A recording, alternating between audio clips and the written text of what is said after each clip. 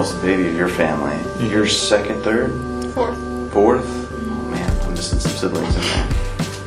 Second, should know that one. Uno, oldest of two, oldest of three. Things you would have wished you took took advantage of in your own family systems, or your parents, or, or whatever. Anything there that's worth highlighting. Well, um, I know that looking through like even just my siblings, um, uh, with age, wisdom really does come, and I, I can see that like through each of my siblings. Like I, I get not not not necessarily get along with more, but like um, I, I seriously look up to like Janessa and Zach and Hannah. And it's not because Scott and Bria don't know what's up. It's just that uh, they, I, I can really see like how things have changed for them, or they they've moved on far enough in their life that I can really like, oh, okay, they did this right, they didn't, you know. They had to work through hard things, or yeah, that's that's good. If You're young enough to have old enough siblings that went through that. Yeah. Anything else in your guys' family systems that you're? Really glad I wasn't first. Me too. Oh, sorry. yeah, I think as parents, um, the only one here. Yeah. but, but like, like there, like I don't know where along the lines we figure out because I had parents too, believe it or not. It's like Wow. where, where do we figure out? Like they're human, like they're trying to figure out how to parent, and so at what point? becoming an adult, you're just like, okay, I have more grace to them because you know they're they have a hard life or there's mm-hmm. stuff stuff that they are not perfect, and so I, I think as a freshman we don't have that perspective. Yeah. Um, Although in some cases it's a little bit of the opposite, where like the more you realize like, oh, they're human, which means they make mistakes. So then it's easier for you to like look at instructions that they've given you, and instead You're of just taking them, you you couldn't you start questioning them, which is not a bad thing, Yeah. but it's, it's sometimes a dangerous thing. I've learned a lot of like what I should be doing based off of like things that they told me that they wish that they hadn't done. Like um, things that I probably would have done if I wouldn't have talked to them and found out what they did like when they were my age.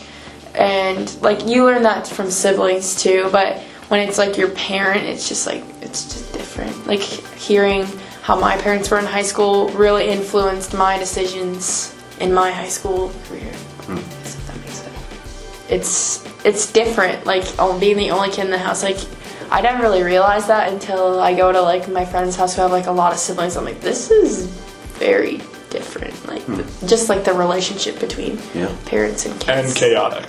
Yeah, and chaotic. Whenever I go to Avery's, I'm like, oh, It gets real loud real fast. yeah. so bring your earplugs. I'd say a little bit of it is taking like more responsibility in the relationships that you already have. Because I know like like even sometimes the best friends that I've had throughout like like kindergarten and up, the best friends, I never really knew anything about them. I'm like, oh, their favorite color's blue. oh, thanks, Avery. Wow. I'm just kidding. But like, like, like, oh, their favorite color is blue, or they like this type of food. It, it, not a lot of the details were super important, and you, I slowly learned that throughout high school that like, oh, these people are actually like like people in my life that we both have an effect on. Even if even if we graduate and we never see each other ever again, I can still make a mark right now. So. I think one thing that I realized, not to get in the feels or anything, but um, I really have great parents compared to like a lot of other families I've seen. Like, they're, I don't know, sometimes I feel like I take advantage of that, but yeah. Shout out to her daddy. but one of the things, like, even that, I think there's a responsibility on all of you guys around the table. Is like, how are you going to parent one day? Because sometimes the the pendulum will swing the other way. I don't want to be like my parents, so I'm going to be like, or I want to be like my parents, and so do I tighten up and and make it like, no, it has to be just like my parents. like did. unnatural, like not. Yeah, rather than like who God designed you and how. The statistics are crazy as far as. Um, I do not want to meet online. That just I don't. she didn't show me that. Wow. That's just no. Oh, careful what you say. Now you might meet. No, me. Like, I, I want it to be like Like traditional. three, three years in the future, she's like talking to this guy online, like, oh crap, I really like him. Oh no. Why don't you want to meet someone online? Well, okay, not like a dating app. I mean, maybe like Yeah. if you kind of know of them, then and like talk to them. But I wouldn't just like text them. Would probably be like, Yeah. yeah. But I don't want it to be like strict dating apps. I just feel like that's fake. But that's my opinion. I'm sure some people have like are okay, but it's like not my You're free thing. to make your own decisions. yeah. Cause yeah, cause you can like meet people like through like dating apps where like that's the intention, or you could just like like Facebook or Instagram where you just like have mutual mutual friends. Yeah. Like maybe they're like I know like for athletes, like oh like they're from Pequot Lakes, like oh you know, and then you just make the connections, and then you just like meet people that you never would have like Yeah. in public. But yeah, there's different when it's like strictly like oh dating app like Yeah. no. I feel like that's become more acceptable though in your generation than it Yeah. was um, even ten years ago when that stuff was starting. Farmers only die. I'm at like a complete loss when it comes to any of that. I, Someone needs to I, do it for you. I don't even know how to post can't make anything on this- Facebook. I didn't know what a webinar was. I was explaining that a couple days ago. Uh, to, Webinar. Yeah. That's when you bring out your weapons and you gnar them. no, but like, like so, like until until Ani literally just brought it up right now, there was not even a, a vague vagueness in my brain of like, oh yeah, dating app is a real thing. Uh, it just just didn't even occur to me. Like Avery trying to like, do I like them? Like, oh, I can't make a decision. Yeah, this is true. can't swipe. I can't even swipe to get off this app. How do I get out? That's funny. It all comes back to your decision making. Dude, that's the problem, okay? What are we talking about? Oh, just the Talking about statistics. families. Yeah, and the statistics of getting married too, of making your own families. That didn't sound right, but you know what I mean. New new nucleuses of ah, stop. Yeah, Must have been I'm sure you guys still think about that. So it's like, but do you get anxious about the timing of that, or do you feel the need to draw a line in the sand of I'm not going to do it till after I graduate. I'm not going to like even think about dating until after I graduate, or um, where do you guys? I I've seen that line cross. I've seen that line cross way too many times. Like, like each of my siblings were like their own opinion on like, oh, I'll get married then, and then it's it's never correct. Every single time they're wrong. Uh, but like Bria was the most strict. Like, I, there's no way I'm getting married until after med school, and then she got married, the youngest of them. So I've just decided if I draw a line, it's just gonna backfire. Just gonna. Avery doesn't even know if he wants to get married, so he I have to figure out the rest of my life first. I think there's undue pressure in high school because of the drama sometimes that's around the dating, the uh, dating life. I don't even know what you guys call it now, but yeah. it seems like there's some. Uh, but at college, sometimes that can get amplified What's up. That can get amplified up even more sometimes in college when your roommates start dating people, and then you feel the sense of loneliness can be um, maybe even greater because then you don't have your family context. And your new family of roommates or to think of the military sometimes that, that that can they come back off leave or whatever and there's an undue pressure. What do I do with that tension? I think some of that tension's God designed too. He created us that way to to make decisions so that's a problem. I don't know. I feel like, especially with the next four years of like where we're all going, everyone is at such different levels of like responsibility, maturity, what they've gone through, what they can handle. Um, so it kind of just depends on the person. I think personally, like you can't really draw a line because no matter where you draw the line, everyone's at a different. Everyone's at a different Yeah, well stage. said. Like college and like the few years beyond is really like the time where like you kind of form yourself. I think where like because a lot of times like you might establish a family or establish like a job where you're gonna live, where your life's gonna be. So like I think it really just all depends on where the person is at here and like in their heart too. Like you can't really like, oh, at 25 I am fully mature and like I want to get married. Like you can't really Boom, boom, boom, boom. Yeah. Well, what is even crazier is like we're all like, are we all 18 here? Nope. Oh, we're all really close to 18. Casey's So like, 20 going on 21. Look at the man beard. that's a good point. When's your birthday? Uh, April. Okay. That's Let's close. Yeah. Mine's okay. in April. When is yours in April? When is yours? I asked you first. I asked you last. He's correct. Three, two, no. Same time, same. Mine's on the 13th. Oh, mine is five days later. so the 18th. Thank you. It's gonna be your golden, What? your golden birthday. Apparently. Did you know it's golden Does that mean birthday? I get a gold bar? I wish. It will be your golden birthday if it's on the 18th. And you're turning 18. Mm-hmm. Wow. That's cool. Mine's Remember that, mom and dad. Yeah, the gold bar, please. What were we talking about? uh, I was 18. saying, oh, yeah, We're so all it's like it's weird to like we're all 18, almost, or almost all 18. So like the people that we know are, like our peers, it's not gonna be out of the ordinary for them to start even getting into a marriage relationship. Yeah. So it's gonna be weird to see that, like, because I remember like Bria talking about that when she was graduating. She's like. I have people that are like getting proposed to. It's, it's summer after our graduation year. Like what? How does that even happen? But it's going to. Like my mom told me that, other day, she's like, "Did you know you're closer to having kids than being a kid?" And I was like, Yeah, yeah, uh, exactly. "Thank you." Thanks for ruining my childhood. Yeah. Thank you. My childhood's already been taken away. The rest of it, so don't ruin it. Don't make things worse. She really wants to be a grandma. No, I was like, never say that again, please. No.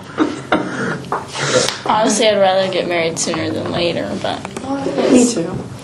I don't know. I'm ready. He's like, I'm- why? Why would you do that? I don't know if I'm mature enough, but I'm ready to. Like, I'm not against it being early or whatever. I feel like I never feel like I'm mature enough. Well, that's Fair. There, there's some. That's. It's good for us to stay humble that way too, because we think we are ready sometimes, and then it's just like, oh, I didn't know what I was getting into. You done get wrecked like a noob. yep. Heard about something else. Mm-hmm. My my reasoning of Feel like of, I missed of, something. of fairly early. Eat it. Oh, Oh, eat it. Okay, there you go. that was Eat funny. it. No one says it like Rich. Shout out to Rich. Um, oh, my reasoning was I wanted to be young enough so that when my kids were your age, I'd be able to run and play and do stuff with them. Whereas if I was in my 50s and I'm already feeling like it, it's harder to do those things. Like think about Amelia. She's pretty young. We had her uh, later on in life, and so she's 10 years out of being your age. Dang, I'm only 55 years old. She's 10 years younger than me. Yeah. I'm depressed. You guys talk amongst yourselves. I and like I also thought about like I want like if I have like grandkids, I want to like be able to know them and not be like dying when they're growing up. So, like, yeah, I don't want to be. I don't want to be like 80 years old when I have like when my grandkids are young. Like I want to be like somewhat able to function. So. I'm sitting right on my lap. Why is grandma asleep? Is she not breathing? Oh no. That's where my head goes. It's one of those days. For the past nine days. I think there's an ideal sometimes in kids, uh, underclassmen in particular, they look up and, and sometimes their hopes and dreams, and then they think, oh, that's never going to happen to me. And they get locked into this um, lonely thought that they can get amplified up. And so that's why I thought it'd be good for you guys to talk about that right now, too. None of you are engaged or. So it's good. So your perspective is really good to be able to share some of that with underclassmen, what you just shared. I've gone through the serious dating thing, but I'm not seriously dating right now. Shout out to all those guys. No. That's okay. She's just claiming her singleness. Sorry. Meh. That may have been borderline I'm it. inappropriate. That's what editing's for. Some of those are worth leaving in. Can we just To realize that Phil's the Unfil- child in the group. Unfiltered copy, please. Unfiltered. Unfiltered. Uh, we put. Here's another question. I know I just asked a question. Here's another question of like, how do you guys perceive yourselves doing, and are, you concerned or are you excited to the point of how are you going to do on your own as far as uh, finding fellowship when you don't have to, when you don't have an umbrella of mom and dad or a, a local church culture that's just like, oh, you should go to youth on Wednesday night. Oh, you should go to church on Sunday. How do you anticipate your summer, fall? This time next year, are you going to be thinking, oh man, I haven't went to church for a year? Remember that? Remember that time we shot that video? That was the last time. I've been to church since then. But you know what I'm saying? How, how do you anticipate that going? It could be even in the move, like where you're going. Do you, are you going to be intentional on your own, trying to find something? Are you? Well, for me, it's uh, kind of almost a little bit of a different question because I know, like, fellowship wise, I will find it because if I don't, I will go absolutely insane. Yeah. So, like, that's not so much a, like, um, like, it's a mystery to me, but it's not so much a concern of mine as, like, what does God want me to do? What is what is the Jesus plan right now? Because I know, like, I have, uh, like, I've been blessed with a good enough family, with uh, enough intelligence, with a good enough grades, with good enough uh, enough that I could easily move on to this life and be successful as a, according to society. Hmm. But I also know that God's not calling me to do that right now. He wants me to do something else for Him, and I'm anxious is the right word, I guess, but also a little scared because it's like, okay, no, now that I'm going into somewhere where I don't have enough experience Or family? or family, yeah, I don't have any direction. I'm gonna be the first person to do this. What do I do? No. That's good. That's kind of confessional. Thanks for sharing that. That's good. I didn't really see that about it because I see you as such a strong personality, but I, I forget how much you're anchored in your family and your friends around here. But to restart in a whole, and you'll do well because you're a people person. Um, but that's still a little bit scary, you know, going where you don't have any direct contacts. It's scary going to That's where movies. I'm I'm kind of scared, I would say, because I am such a people person that I attract all kinds of people. Like I love getting to know people of all different, you know, everything. So I'm scared that I'm gonna get like I'm gonna start getting like friends that aren't really like Christian and then I'll like kind of fade off from that. But I know that my mom she'll be like, uh uh like nope, like because she'll be checking in on me, I'm sure. And my grandparents are near, so they will definitely be checking in on me. But I'm I'm most looking forward to getting to have that responsibility be on myself because I feel like I'll have more motivation to get to know Jesus better on my own instead of just having like, oh come on, like my mom would like going to church. Like I'm excited to make it my responsibility so I can't like blame like oh well we didn't go to church or something. Like I'm excited to like have that responsibility because I feel like that's what's gonna really change me as like a Christian.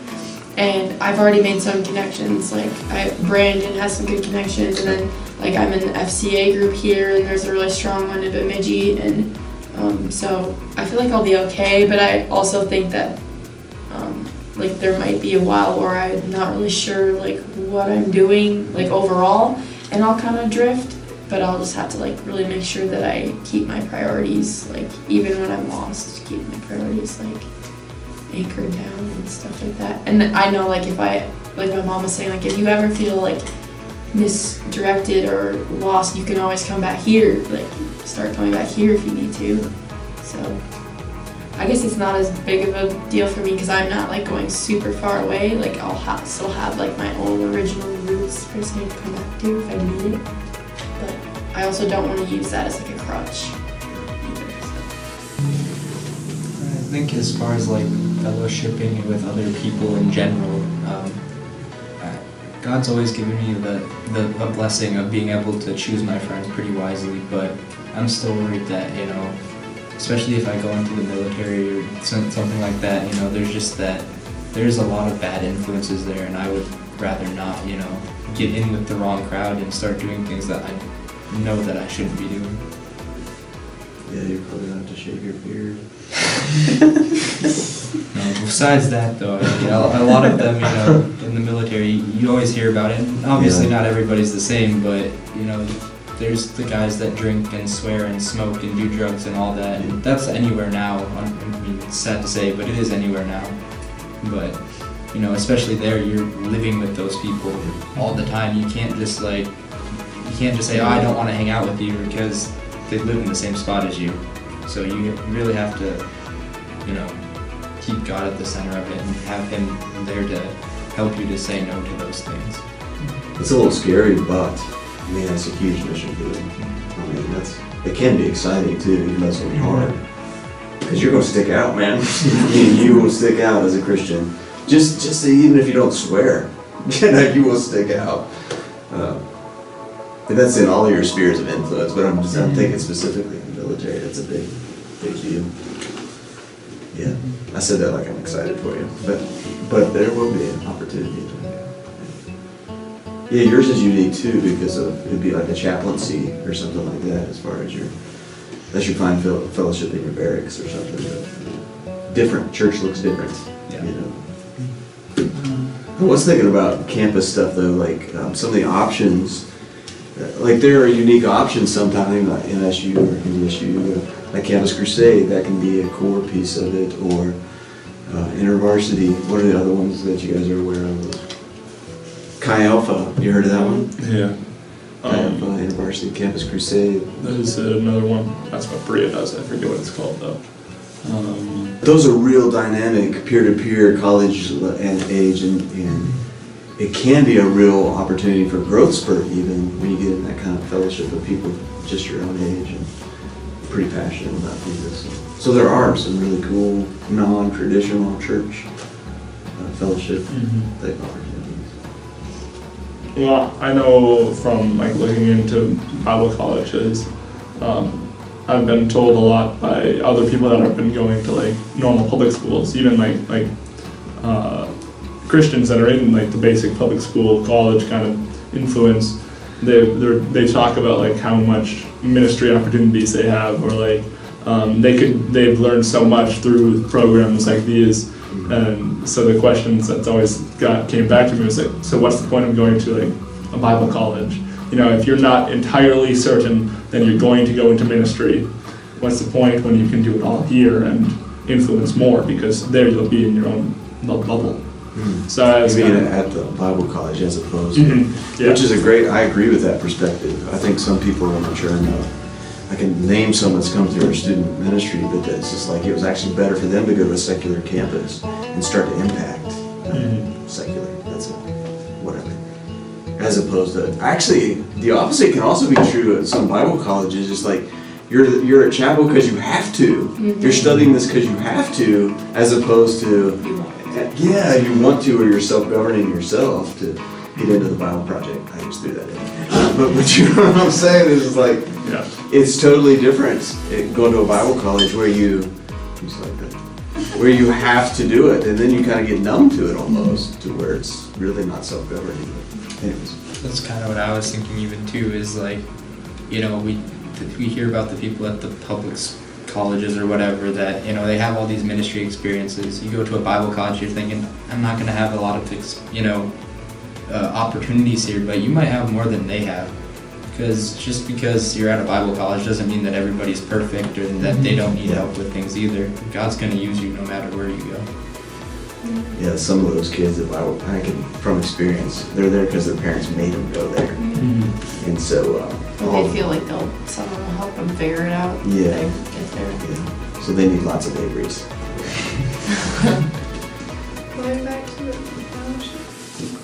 Mhm. like I feel like I, feel like I mean I don't feel like I know I'm not a people person and it took me like all four years of high school to like find like my people, and I feel like that would be hard for me to like start over. Ah. Yeah. I think a lot of people share that perspective though. Just like it just took me all this time to finally feel like I fit in.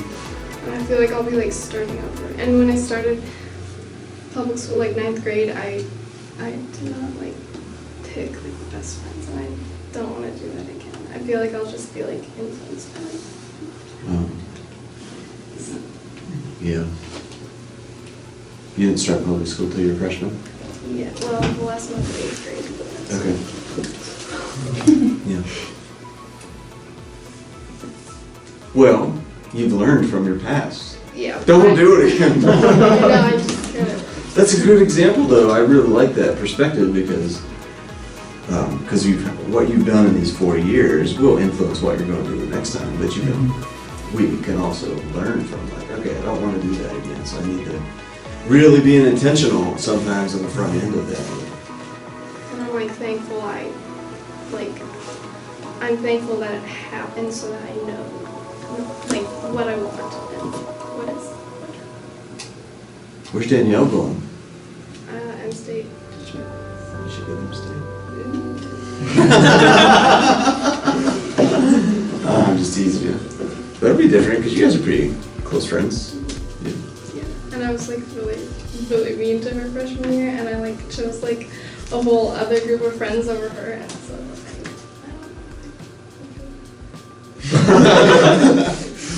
So the fact that Danielle's still friends with her. Seems like Danielle's moved on. So. Shout out to Danielle. She was going to join us today, but didn't make it. Did we skip you, Michael? Did you have any other thoughts? Deep thoughts? Michael always had deep thoughts. No, I don't know. I'm not all that deep. um, Where are you going again? uh, I'm. I What still don't really go know. It's kind of up in the air. I want to. pre-engineering. Yeah, I kind of want to do something along the lines of engineering. I enjoy um, thinking and solving problems, so it's kind of. I Uh, There's got to be one among us. So I don't really know where I'm going. So as far as being afraid of um, making the wrong decisions, I'm not really all that worried. But just learning and making new friends that might be a challenge. I've never really had a problem making friends, but Says with confidence. That's good though. It's good you have confidence that you're not worried about that piece of it. mm-hmm. Yeah. Yeah, you have a pretty good track record. Get Casey there. yeah. Well, Zoom it up. You gotta figure out Zoom. I didn't even know that was a real thing. It is a real This is the first time I've ever heard of You're it in gonna my be left life. behind if you don't get Zoom. Yeah, it's okay. It's not okay. Because all your teaching. See you later. It's okay. He's gonna be a senior for the next. Three years. Super senior. I've seen a few of those at your school. Yes, it happens. I saw one the other day. I'm like, I thought you graduated. I'm sorry. Uh, I'm sorry.